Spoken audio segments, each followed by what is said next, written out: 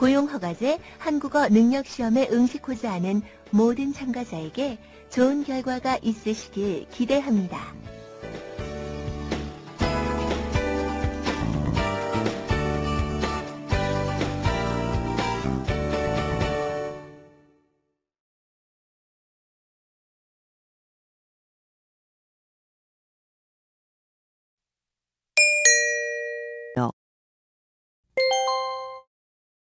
다음을 듣고 알맞은 그림을 고르십시오.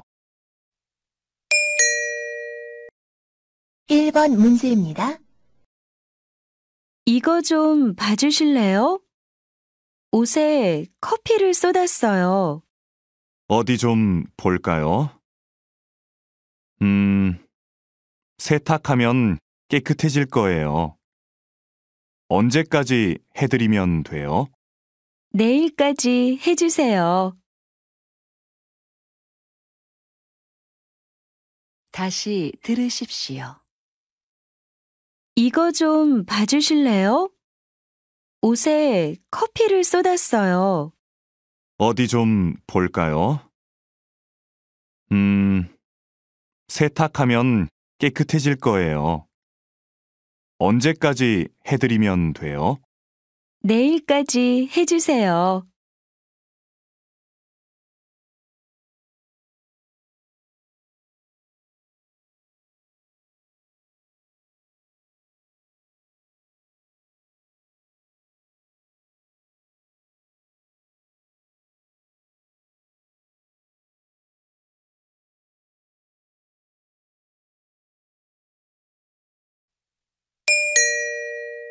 이번 문제입니다.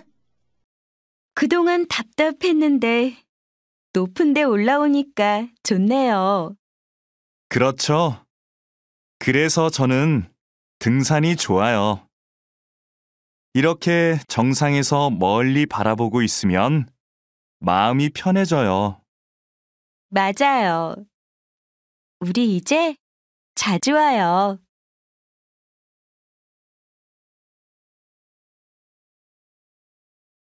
다시 들으십시오. 그동안 답답했는데 높은 데 올라오니까 좋네요. 그렇죠. 그래서 저는 등산이 좋아요. 이렇게 정상에서 멀리 바라보고 있으면 마음이 편해져요. 맞아요. 우리 이제 자주 와요.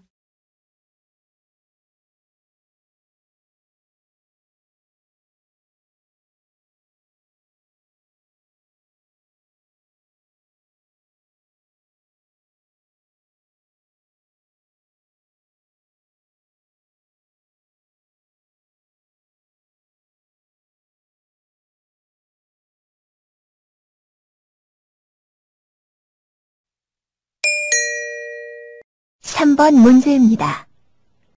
스마트폰 사용자가 많아지면서 모바일 쇼핑 이용객이 급격히 증가한 것으로 나타났습니다. 20대가 가장 많이 이용하는 것으로 나타났으며 10대가 그 뒤를 이었습니다. 여전히 컴퓨터로 쇼핑을 하는 사람들이 많지만 앞으로 모바일 쇼핑 이용객이 더 늘 것으로 예상됩니다.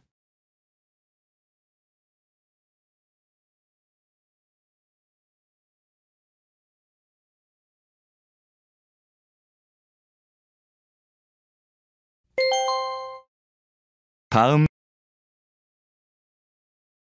다시 들으십시오.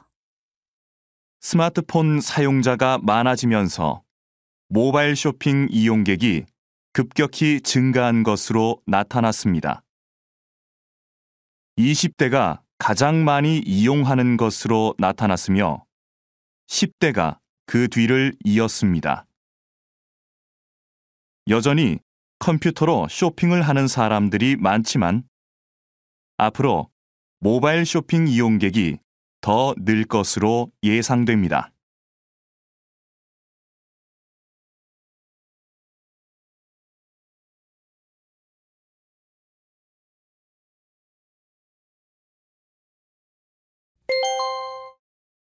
다음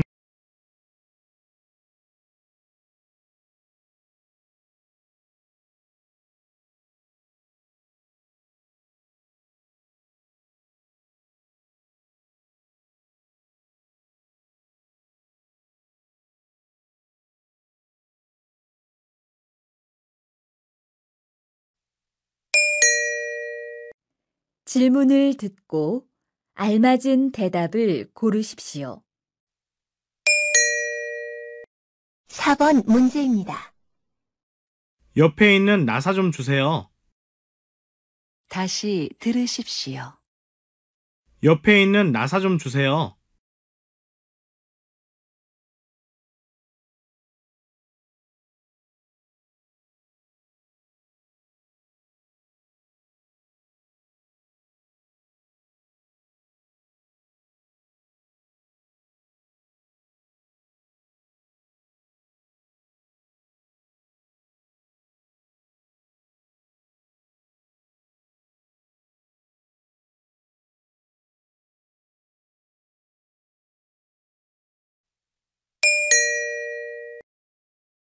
오번 문제입니다. 철사를 잘라야 하는데 펜치가 어디에 있지? 다시 들으십시오. 철사를 잘라야 하는데 펜치가 어디에 있지?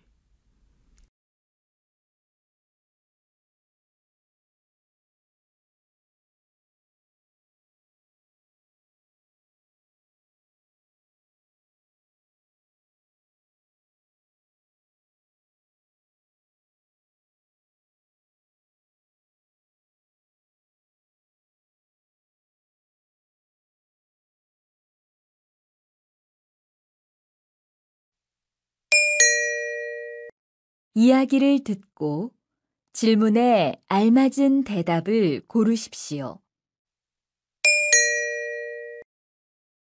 6번 문제입니다.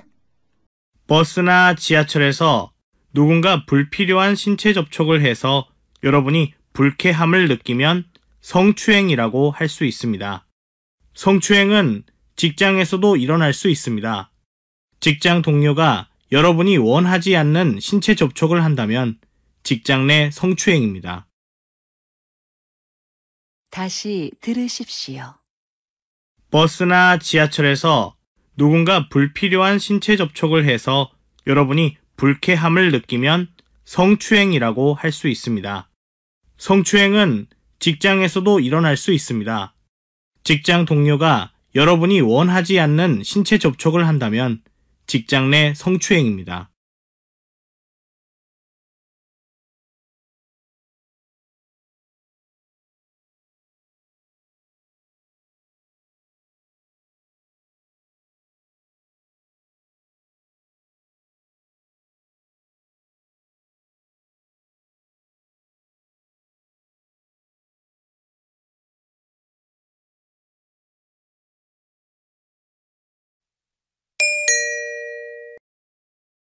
칠번 문제입니다.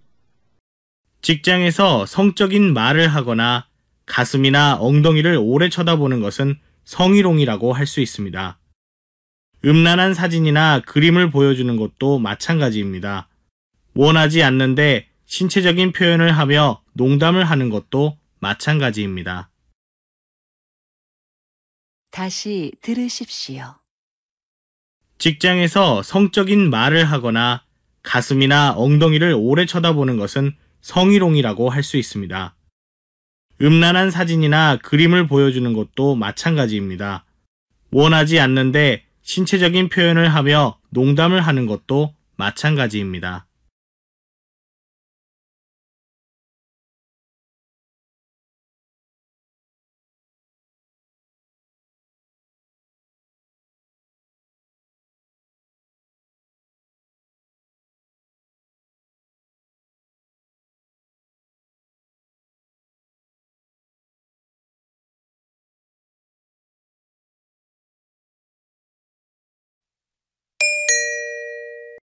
팔번 문제입니다. 직장에서 누군가 나를 성적으로 불쾌하게 한다면 회사의 고충 처리 기관에 먼저 상담을 신청하는 것이 좋습니다. 그래도 해결이 되지 않는다면 노동위원회나 경찰에 신고하는 것이 좋습니다. 다시 들으십시오. 직장에서 누군가 나를 성적으로 불쾌하게 한다면 회사의 고충 처리 기관에 먼저 상담을 신청하는 것이 좋습니다. 그래도 해결이 되지 않는다면 노동위원회나 경찰에 신고하는 것이 좋습니다.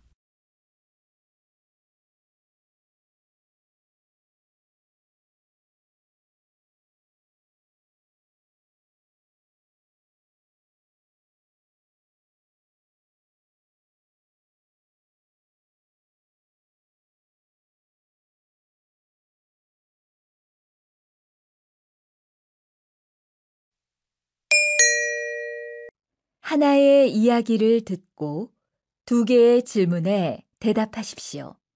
요즘 회사에서 일하기 참 어려워요. 왜요?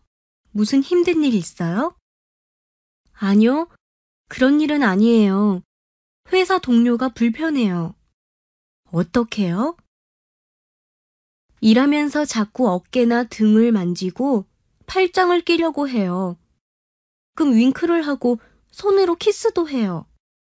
그건 성희롱이에요. 하지 말라고 하세요. 하지만 직장 동료라서 참고 있어요. 회사에 상담을 신청하고 안 되면 지방노동위원회에 신청하세요. 다시 들으십시오. 요즘 회사에서 일하기 참 어려워요. 왜요? 무슨 힘든 일 있어요? 아니요.